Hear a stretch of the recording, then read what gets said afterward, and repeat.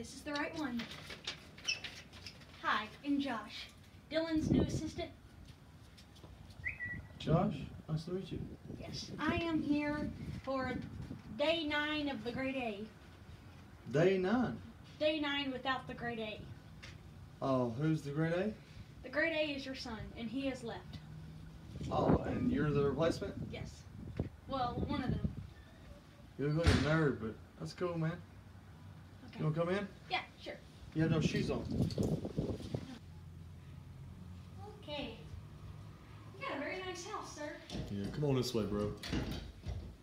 Uh, what's your name again? The grade Josh. B? Josh. Josh. We got uh, we got a lot of things going on in here. We've got uh, as you see over here, we've got a nice table, Yes, you Okay. really do. a beautiful plant, hmm a nice chair, and the chandelier that I'm holding in my hand. Do you see where I'm holding my chandelier? Uh, Yes. it, it's it's tiny, but I really like it. Mr. Blake, you are hilarious. Mm. Now, if you don't mind, can I make myself a home? Sure. Okay. All right, the great B. Nice to meet you, brother. Or Jay, or Josh, or Bosh. What's your name? Josh.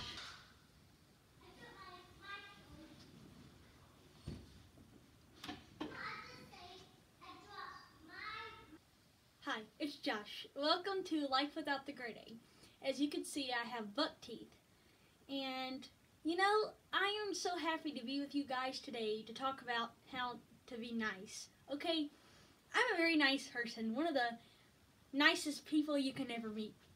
But, you gotta be nice not all the time, but most of the time, because if you're not nice most of the time, and if you're mean to people, they're not gonna be nice back. So that's what I'm here to talk to you about.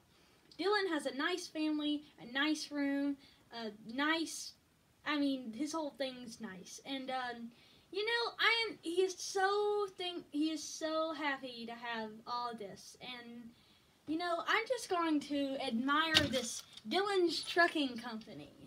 He's got a truck. Um, I don't know where he got that in particular, I am so thankful to be here, and with all you fun guys. Now you can either call me Josh or the Satchel Man. Either one is fine. But I am so happy to be with you guys. It is an honor.